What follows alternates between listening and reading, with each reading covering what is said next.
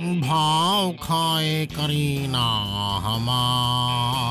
इनको भी चढ़ा है नखरे दिखाने का बुखार। ये आए हम इस चमक चलो, करीना कपूर, इन्हें तो भैया भाव खाने से ही फुर्सत ना है। ये आज जहाँ पर भी है ना मतलब जिन ऊंचाइयों पे ये फील करती हैं कि ये पहुँच चुकी हैं, वो ऊंचाई बहुत ही दर्द भरे रास्ते से गुजरी है इनके लिए। पहली फ़िल्म में इन्हें क्रिटिक्स ने थोड़ा सा चढ़ा क्या दिया भैया? मानो मैडम के तो पर ही निकल आए।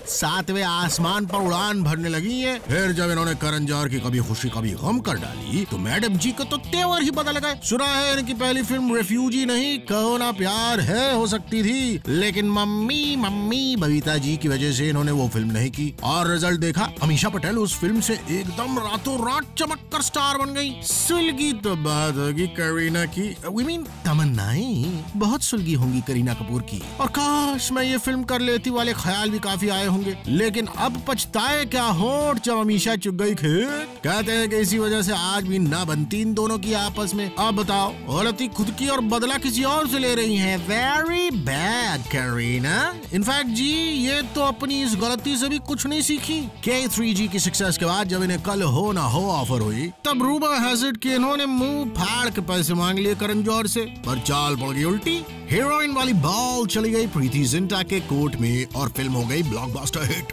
कहते हैं कि इस इनकार के बाद तो करीना को कितने दिनों तक नहाने के लिए पानी की ज़रूरत ही नहीं पड़ी थी। बाथ टब में बैठकर इतने आँसू बहाती थी कि वो खुद ही भर जाता था। यार इनकार करना बेकार है। जब आप अपने ऊपर वाला माला ही इस्तेमाल नहीं कर रही। तो अगली बार think before you pick Kareena number nine